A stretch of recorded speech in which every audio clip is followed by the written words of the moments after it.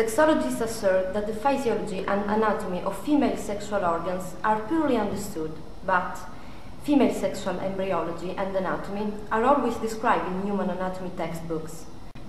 Female sexual physiology was described uh, in Dickinson's textbooks in 1949 and by Master and Johnson in 1966.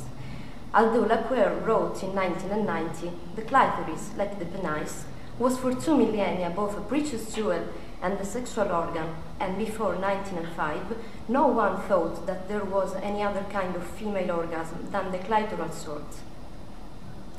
The distinction between clitoral and vaginal orgasm is not correct from a scientific point of view, because vaginal orgasm is a term invented by Freud in 1905. The vaginal orgasm is only a theory. Lacan wrote that in 1905, Sigmund Freud rediscovered the clitoris, or in any case the clitoral orgasm, by inventing its counterpart, the vaginal orgasm. So after 400, perhaps even 2000 years, there was all of a sudden a second place postulated from which women described sexual pleasure. In 1905, for the first time, a doctor claimed that there were two kinds of orgasm, and that the vaginal sort was the expected norm among the adult women. Freud knew that the natural center of the female erotic pleasure was the clitoris, and that this one was culturally in competition with the necessary center of the pleasure of the woman, the vagina.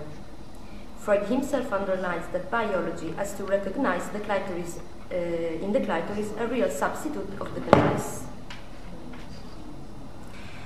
The vagina doesn't have an anatomical structure that can cause an orgasm. Until now, no scientist and no anatomy and neurology textbook demonstrated any vagus nerve termination in the vagina and in the cervix uteri. The genitosensory uh, component of the vagus nerve is only an hypothesis. The same thing we have to clarify regarding the G-spot. The G-spot is actually an hypothesis. Grafenberg in 1950 hasn't discovered any G-spot. In his article, he describes the role of the urethra in female orgasm and not the role of the vagina. Grafenberg described some cases of female and male urethral masturbation and the corpus spongiosum of the female urethra. Analogous to the male urethra, the female urethra also seemed to be surrounded by erectile tissues, like the corpora cavernosa. Grafenberg writes that the intraurethral glands could only release fluid that is not urine to the orgasm. But he didn't report an orgasm of intraurethral glands. In fact, the female prostate doesn't have an anatomical structure that can cause an orgasm.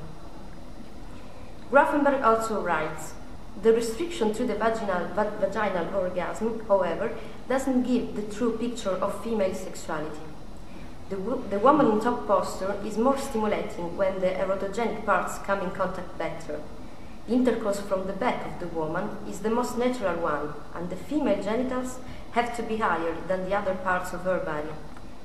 The entrance to the uh, rectum can also become an erotogenic center.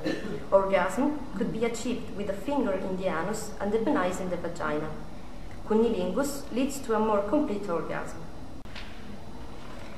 The erectile structures are the same in female and in male, and the clitoris is equivalent only to a part of male penis. The male erection is equivalent to the erection of the female erectile organs. Some sexologists use the term bulbs of the clitoris, clitoral urethra, clitoral vagina, but from an embryological and anatomical point of view, these terms are incorrect. The bulbs do not develop from the phallus, they don't belong to the clitoris. The female urethra doesn't go across the clitoris, and there's not a part of the vaginal wall which adheres to the clitoris. The correct term to indicate the whole female erectile organs should therefore be female penis. The orgasm is possible in every woman because it's caused by the female erectile and organs, and as in male, only one kind of, of orgasm exists, the female orgasm. The contemporary stimulation of the clitoris during the vaginal intercourse facilitates the female orgasm, especially during the first time.